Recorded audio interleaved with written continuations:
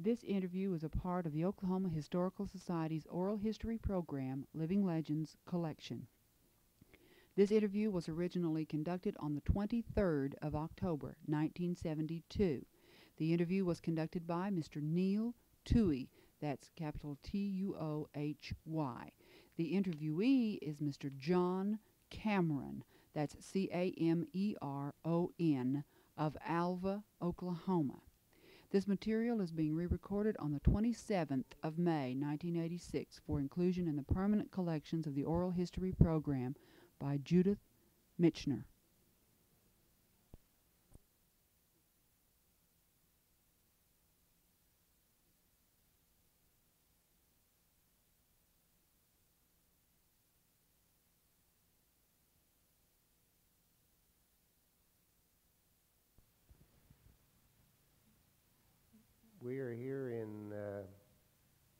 Alva, Oklahoma, and I've come here to interview John Cameron about some of his early day experiences here in Alva.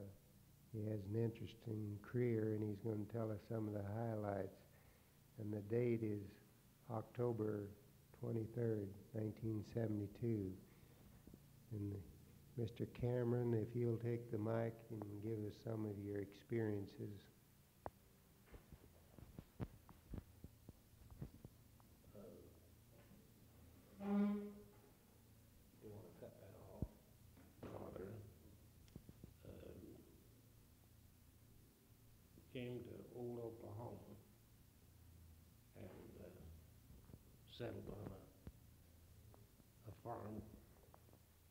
Between, uh, uh, close to uh, Hennessey. And my father uh, made the run into the Cherokee Strip and took a claim 10 miles northeast of Enid in 1893.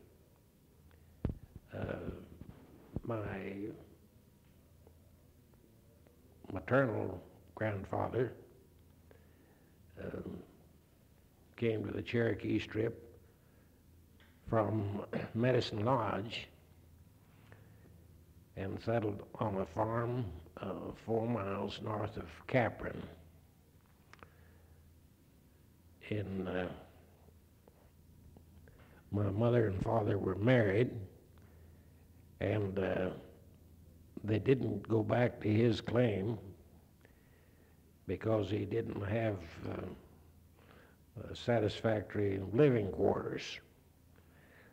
They went to uh, his parents' home close to Hennessey,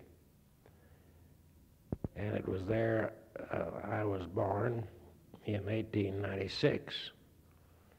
Uh, of course, that is three years after the strip opened. We later moved to the farm that he had taken in the run, and uh, we lived there until 1900, at which time we moved to Enid. Uh, Enid was uh, had ambitions of being a, a large city, I think, even in those days. But they numbered the uh, streets from the east edge of town toward the square. And uh, we lived in the 400 block on East Main. Incidentally, that's named after the battleship Maine. The uh,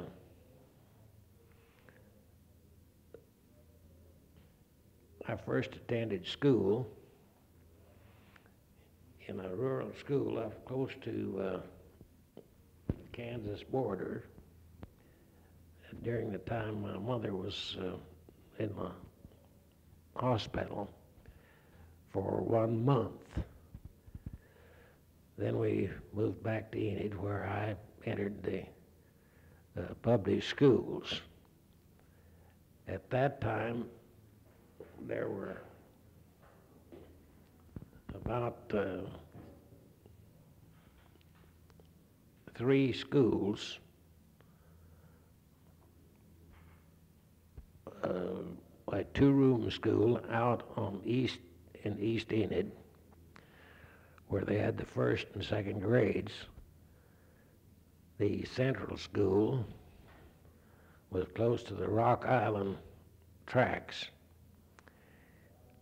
Then there was another school, war building, that uh, took care of the first eight grades on the west side of town. Uh, there was also a Negro school, all black, on the uh, east side of Enid. Uh, even though um, none of the school facilities uh, compared to anything modern, the old Central was relatively new. The Negro school was in a dilapidated condition from any time that I could remember. Uh, we uh,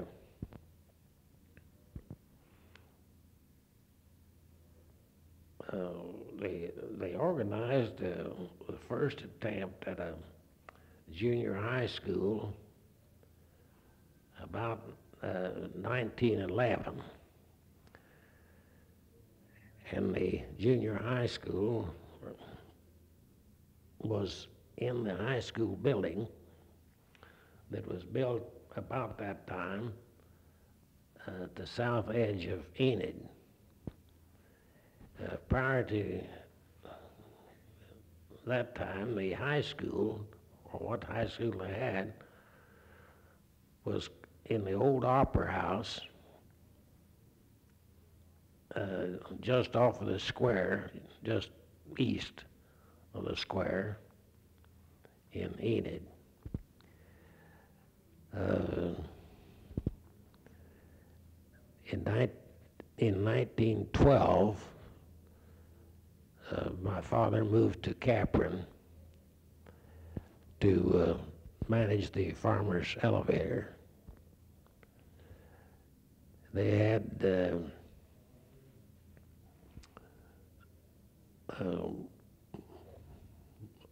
a school in Capron which covered the first eight grades and uh, two years of high school. As I recall, however, they only had three teachers. A man taught the uh, high, first two years of high school, all the subjects that were offered, and uh, the eighth grade.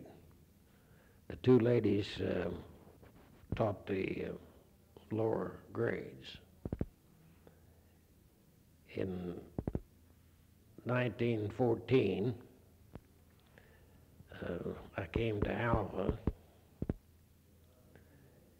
and entered as a freshman in Northwestern State Normal.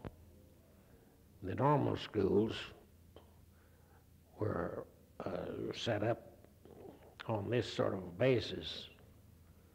They had the B class, to which graduates from the eighth grade were admitted, the A class, then the freshmen would correspond to juniors in high school. They had uh, four years of work, a combination of high school and college. Uh, the major portion of that work was education since the normal schools were set up to train teachers. Uh, uh, without much regard as to what they were going to teach. They, um, uh, not being born with a silver spoon in my mouth, I uh, dropped out and taught uh, a couple of years before I came back. And I finished the normal school, graduated from Northwestern State Normal in 1918. Uh, just in time to go into service.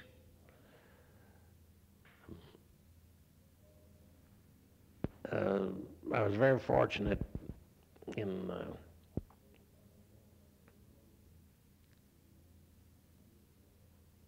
at that time they had set up a artillery officers training camp at Camp Zachary Taylor just out of Louisville.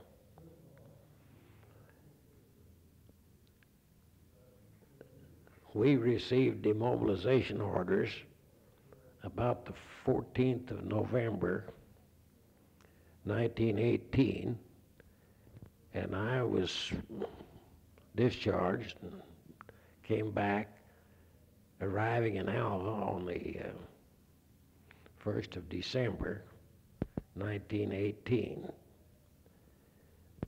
There'd been a flu epidemic,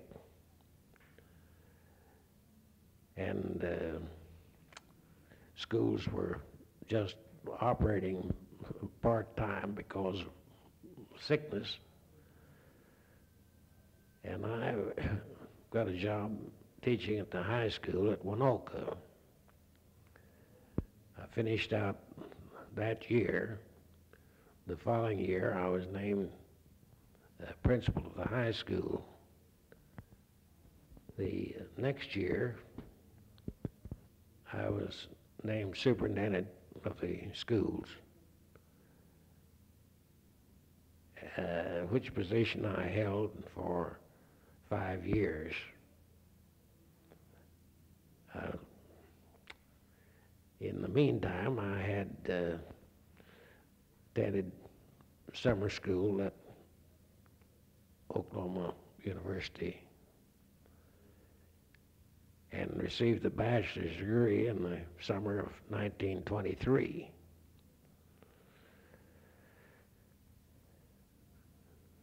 They, uh, I had a, uh, I had followed uh, men as superintendent of schools down there, all of whom had bachelor's degree. So I was the first superintendent that didn't have a bachelor's degree until after I'd been there some time. Then uh,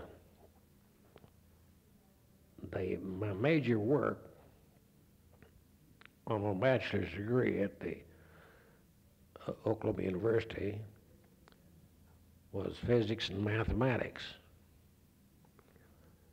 Uh, I received a scholarship from Oklahoma University. Uh,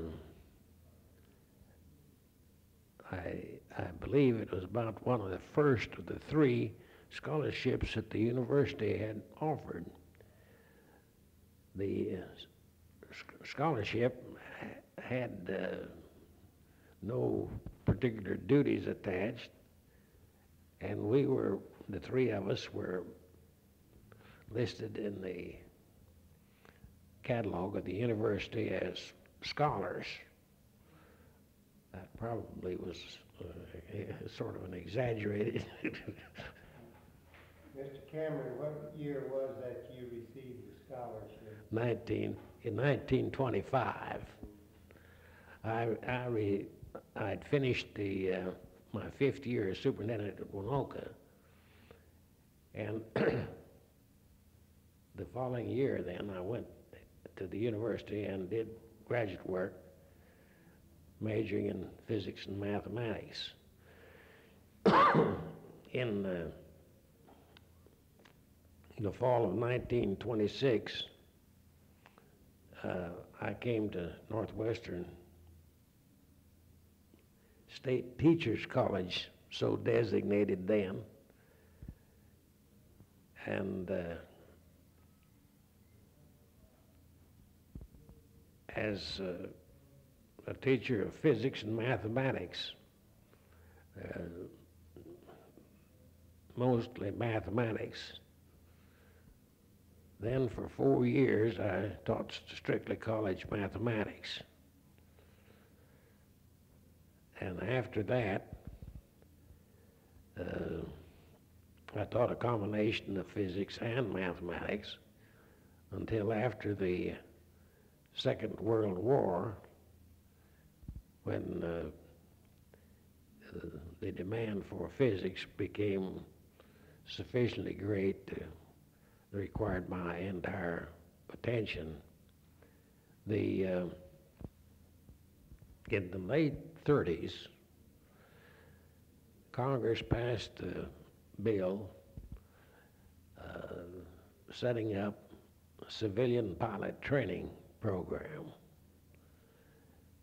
This was uh, apparently an attempt on the part of uh, Congress to uh, prepare men for the Air Corps uh, for the impending war. Then, when war was declared,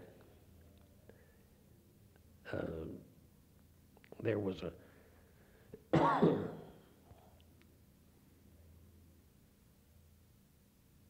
program set up uh, for liaison pilot for the artillery.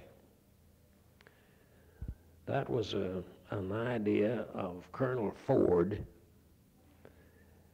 uh, of having small airplanes, slow flying, uh, to go up and observe the uh, artillery fire. The uh, it was uh, wasn't accepted very enthusiastically by the army, but it later proved to be very satisfactory. Uh, it looked like a person flying in a low flying, slow flying plane would be a sitting duck for the enemy. However, they didn't have anywhere near the casualties that you would anticipate. Well, we set the uh, program uh, was a combination between the uh, CAA and the Army. The college received a contract to uh,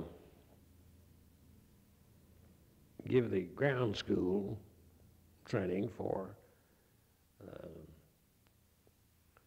these liaison pilots. A local airport east of town had the contract to uh, train the flyers.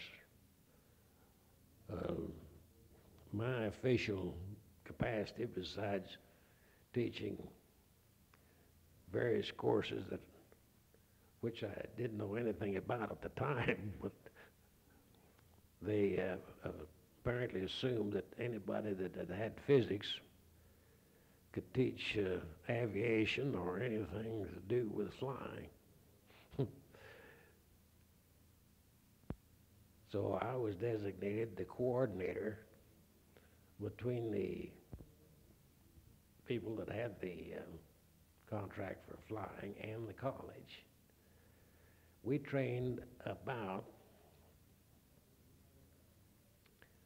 uh, a hundred liaison pilots. Uh, they had to be uh, they had to be past 25. They couldn't be over 35. They must have been turned down by the uh, uh, aviation part of the military. before we could, uh, uh, they could enroll here. Now, they weren't exactly, uh, they weren't soldiers, however, they were sworn in when they came. And we, at the college, had to supply lodging and feed them, take care of their, uh, any necessary medical problems that might arise. And uh, it is rather interesting because these men came from uh, all over the United States. Uh, we had, uh, for instance, a policeman from Fort Worth, a very interesting person. He had a terrible time getting through uh, the uh, ground school, but uh, he really worked. And uh, when he was given the examination, or they gave the examination, the uh, Civil Aeronautics Authority conducted, came and conducted the examinations. We didn't uh, do that. And uh, this particular man, who was just under 35 years of age, uh, completed the course with one of the top grades, if not the highest grade of the group. the thing that was so surprised me after he had finished, he told me in a private conversation that he had never finished the eighth grade or fifth grade. Did these uh, pilot, pilot training courses, did they include actual solo flights? Oh yes. And, and then after they graduated, did they all become part of the armed forces? Yes, they have. On graduation, well, after this ten weeks program, this was a fast and furious affair. Uh, they were uh, ordered to report for active duty. In other words, they considered this uh, detached service here, for which they did not receive any Army pay at the time, but later the Army paid them for the time that they spent up here. They were assigned um, to uh, um, different places, um, most of whom um, graduated uh, after completion of the work here. They wound up as navigators, um, control tower operators, and uh, a sizable group of them actually uh, went over to Europe and became um, uh, liaison pilots. They were, these, uh, this training program was not accepted very enthusiastically by the Army um, aviation. Uh, they um, didn't think that they had received proper training as pilots, but they had some 40 or 50 hours of actual flying in uh, these Piper Cubs and uh, some of uh, the boys that finished here went to a, an advanced uh, liaison pilot training program, one of which was held over at uh, Ponca City. Um, they uh, uh, learned all sorts of ways to uh, handle the plane, even to landing crosswind uh, or landing any place that there was a flat surface. Uh, incidentally, one of the boys were, was killed um, in attempting to land on a, one of the uh, South Pacific islands in a sort of a jungle. There just wasn't any place to, to, for them to land.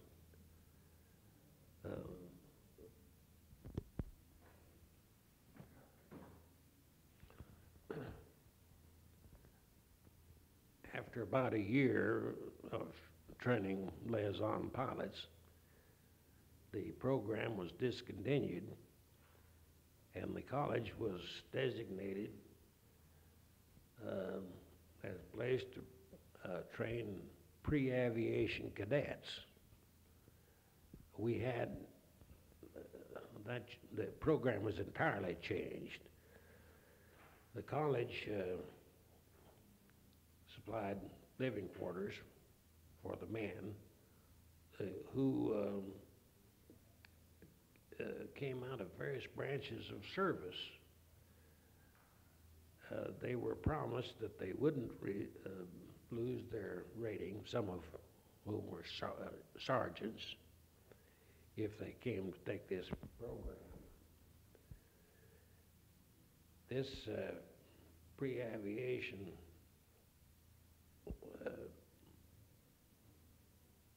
cadet training, they covered, they took some flying. I think it was 10 hours of actual flight time. Well, during the year or over that they had this program, we had about 2,000 aviation cadets here. They uh, attempted to teach uh, physics, for instance, a year's physics in 10 weeks. And uh, we had to have laboratory facilities for these uh, students. We had about 80 uh, at a time. Well, they required, uh, got physics teachers every place we could rake them up. They took uh, some meteorology. they took some elementary math. I think it was designated as college math, but it was very elementary. And uh,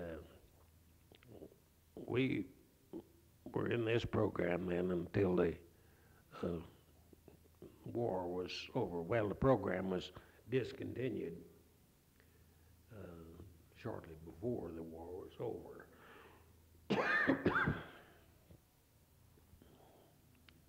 now,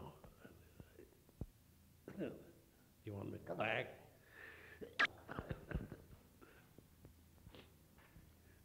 the um, after the war, uh, we had returning soldiers, and of course they were uh, came uh, as under the GI Bill, and many of whom uh, completed their well, they completed their college work. Some of whom started as freshmen. Um, then we had uh, quite a call for uh, physics graduates. Incidentally, the uh, the um,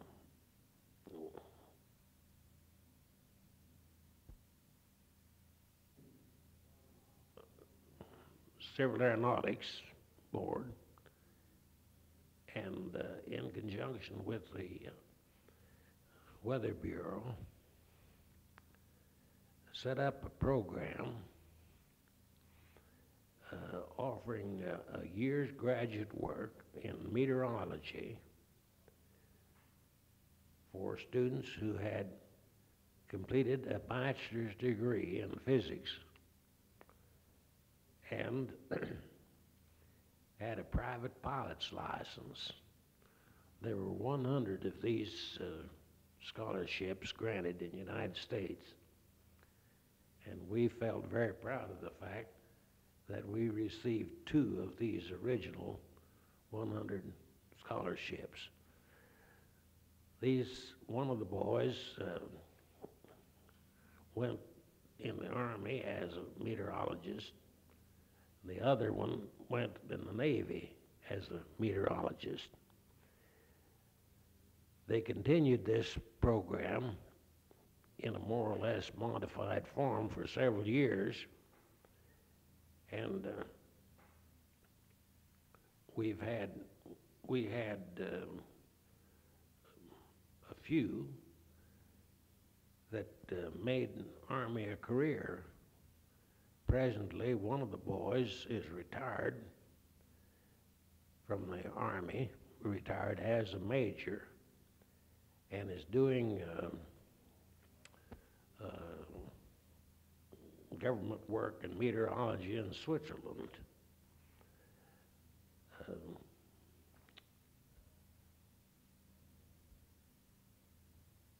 then we had um,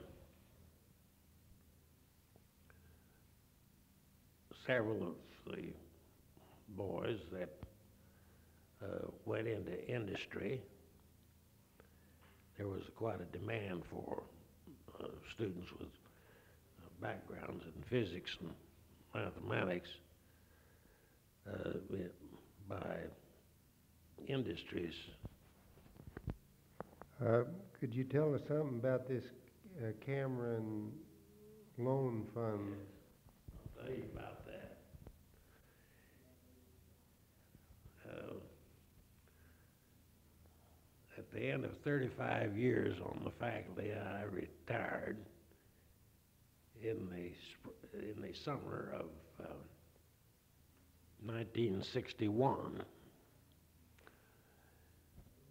At that time, uh, and prior to that time, we had uh, several boys who had majored in physics and mathematics.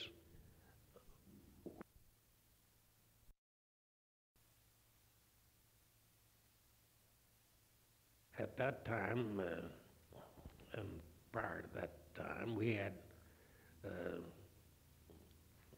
several boys who had majored in physics and mathematics working on the Continental Oil Company over at Ponca City. They came, they had a sort of a surprise dinner, and uh, together with uh, some of my colleagues on the faculty,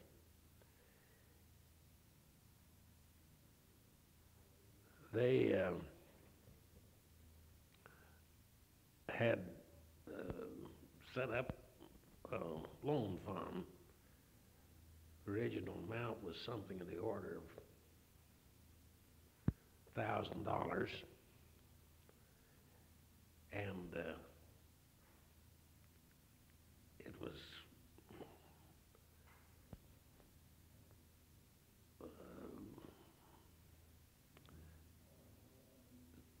my privilege to uh, set it up as I saw fit. But it was named in honor of me, so presently that uh, Loan Fund is administered by the Northwestern State College Foundation, and it has grown very materially. The uh,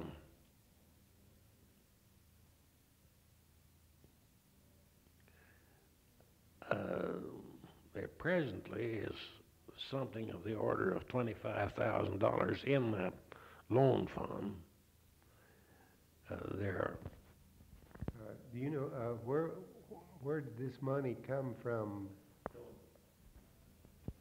this money was donations from the various individuals, students, and was, uh, that that came from the con, uh, the boys over at uh, Ponca City, it was matched by money from the Continental Oil Company.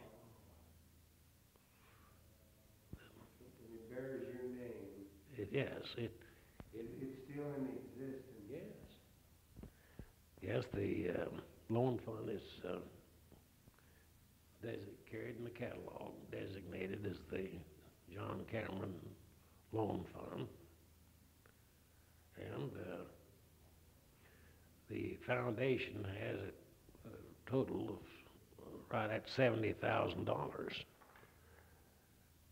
uh, which they make short-time loans to uh, juniors and seniors, seventy thousand dollars, of course, wouldn't take care of very many students for any considerable period of time.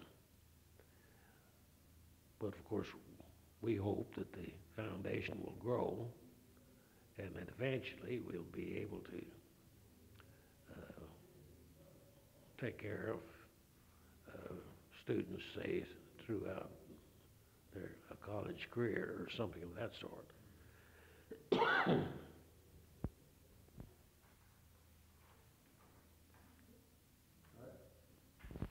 John, I wish you'd tell us something about these stories of John Dry, is it Dryer?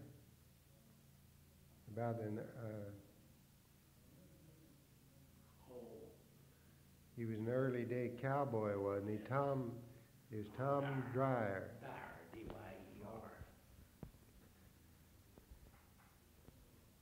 Uh, my wife's folks uh, uh, came from Kansas to the Cherokee Strip. They uh, took a farm 10 miles north of Alva, on which farm my wife was born.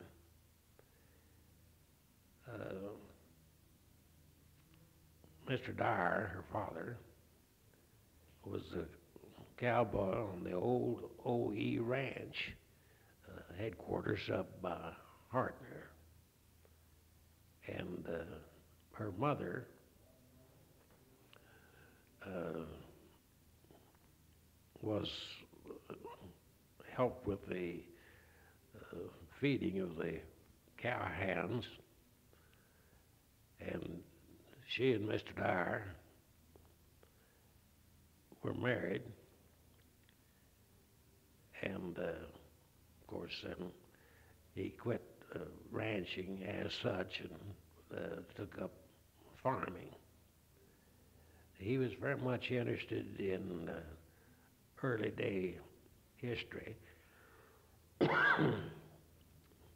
he wrote a booklet on old Kiowa. Uh, Kiowa, as we know it now, was the town designated by the Santa Fe Railroad. Uh, old Kiowa is uh, uh, located, I think it's north and west of uh, the present site of Kiowa.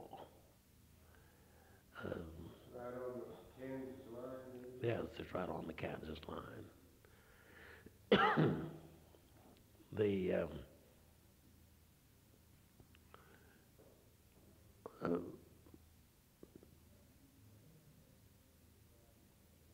Who was, who was Scott Cummings? well, Scott Cummins uh, was my mother-in-law's father. Scott Cummins, of course, lived in uh, Medicine Lodge and around thereabouts. And apparently, uh, he took quite an interest in uh, politics at various times. And Jerry Simpson, uh, a populist candidate for Congress, uh, designated as Sockless Jerry, uh, and I guess uh, what was the proper designation, ran for Congress. Well, Scott Cummins uh, made the public declaration that if Jerry Simpson was elected to Congress, he'd never cut his hair. Well, Jerry Simpson was elected, and Scott Cummins never cut his hair. He wore long hair and a big cowboy hat. He was a, uh, had written, uh, well, he was uh, known as the Pilgrim Bard and had written a volume of poems. Uh, he uh, was a good storyteller and uh, didn't necessarily confine himself to facts. and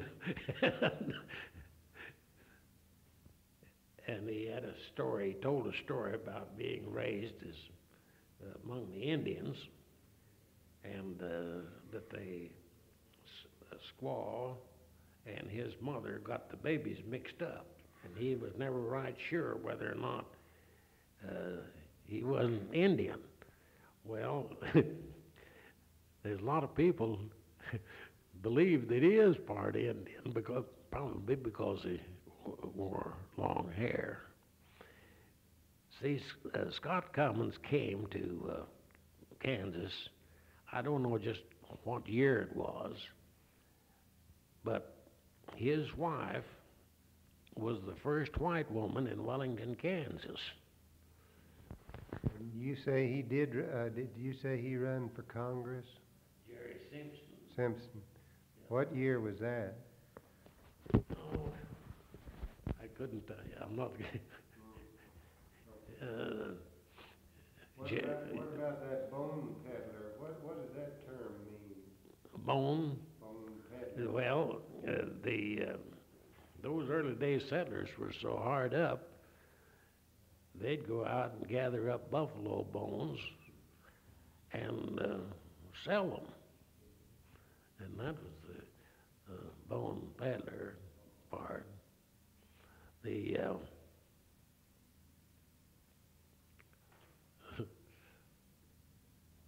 that makes the story come somewhat disjointed. You can reshape it. It's all right. Uh,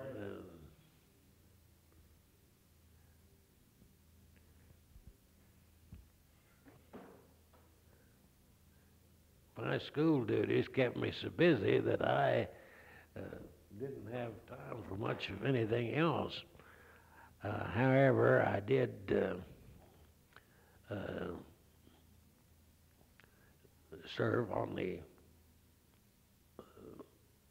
board of the Methodist Church uh, for a good many years.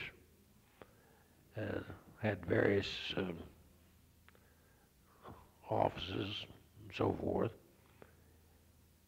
And uh, after I retired, I served on the hospital board for about five years until my wife's failing health made it necessary that I get off. Uh, after my retirement, I also served on the draft board until uh, about a year ago when uh, I received a notice that my services were no longer desired because I had reached the age of 75.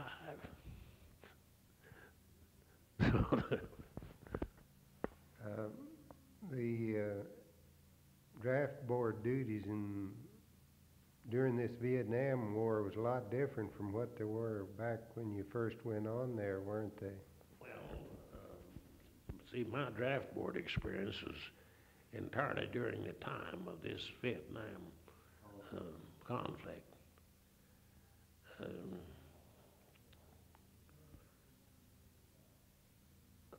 we, I tried to um, act as a sort of a, a go-between the college and the uh, army, you might say.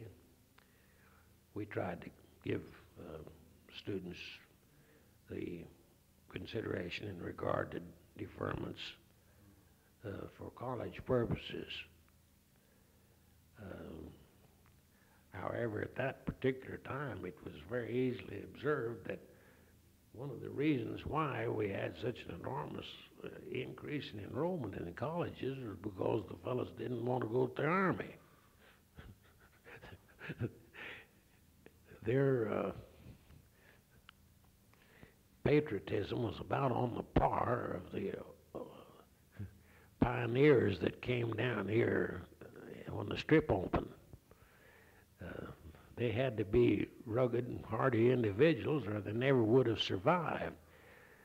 But uh, the reason they stayed was because they didn't have any place to go or didn't have anything to go on. So that made a lot of them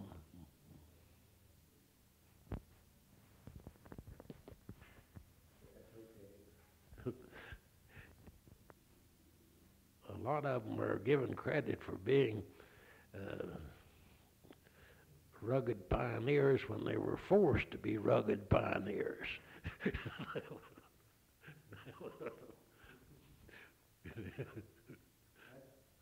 what you call telling it like it is. yeah, that's right. Without any embellishments. Of course, everybody was poor. Some were poorer than others, and that's about the. the When, when did your, you mentioned your wife was sick, when did your wife die? she died in sixty. Um, Mabel died in '67. She's been gone a little over five years. You do have a daughter too. Yes, I have a daughter. I have grandchildren, but you don't want to hear about them. I'd use up all your tape. You have a granddaughter, Mrs. Shelton. What? Did, have grandparents that were from Ireland and Scotland? That was my father's, my, my grandfather, paternal grandfather, that filed on a claim in old Oklahoma was, uh, uh, appraised of the fact that he wasn't a citizen of the United States. He'd just come down from Canada. He served four years in the uh, Union Army, so he became a citizen after he filed on this claim in uh, Old Oklahoma in 1889.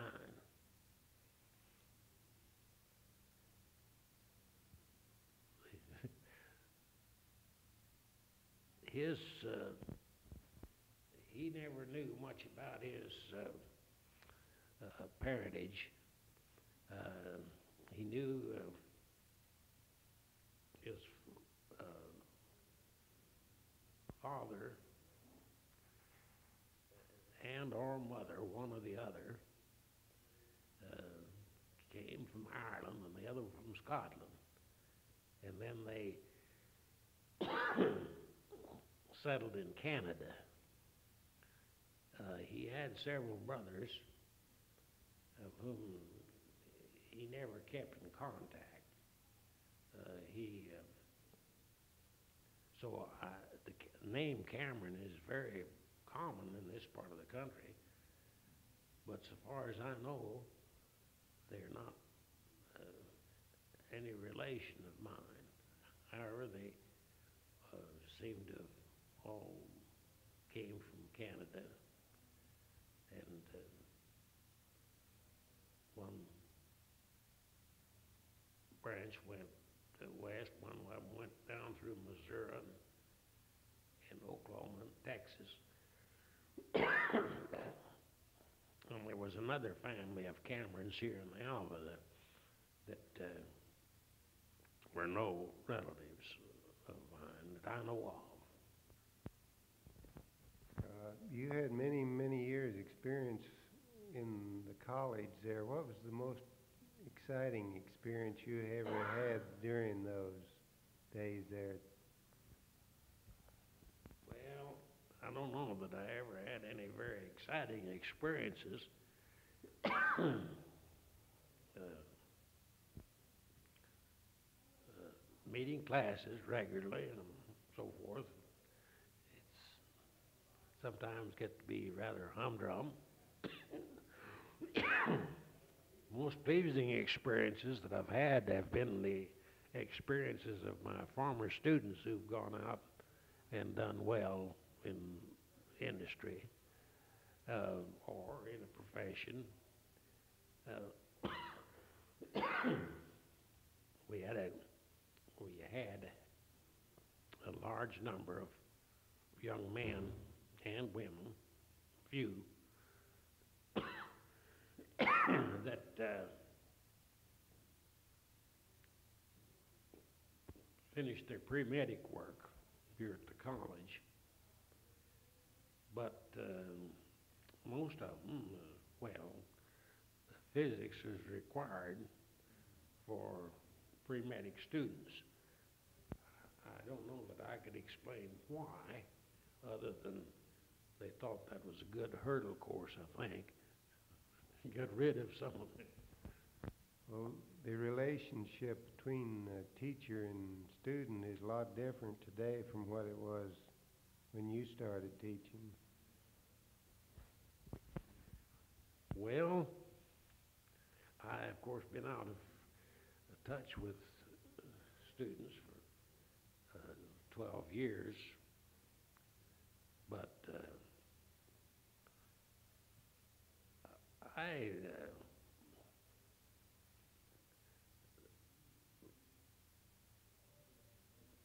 think that the uh, students of years gone by are pretty much the same as uh, the students we have now. There were some of them that were very serious-minded, and some of them were less.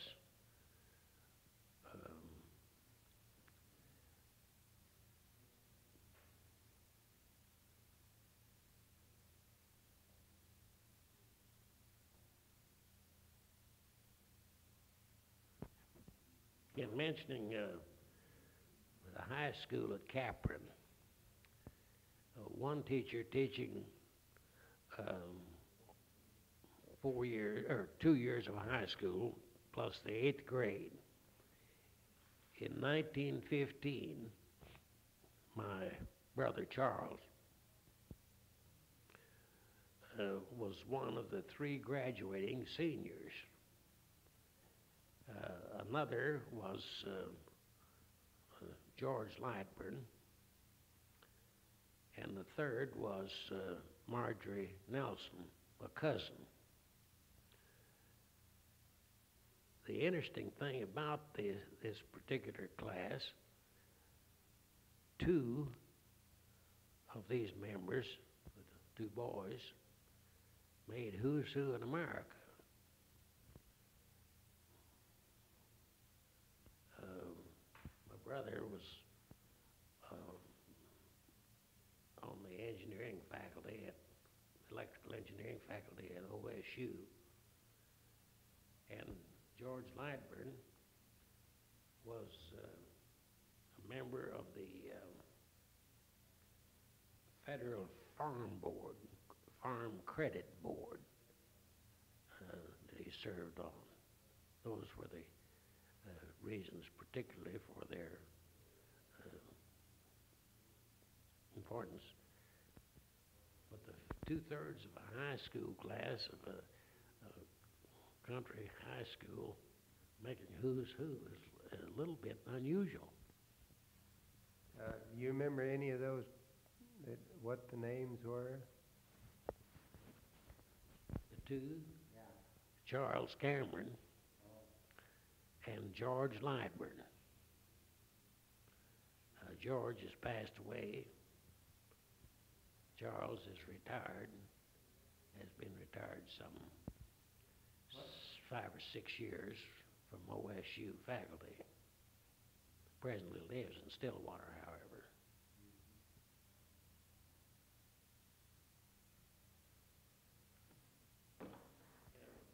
This is uh, C.J. Tuohy, your interviewer, and I'm closing this interview with uh, John Cameron at Alva, Oklahoma on October the 24th, 1924.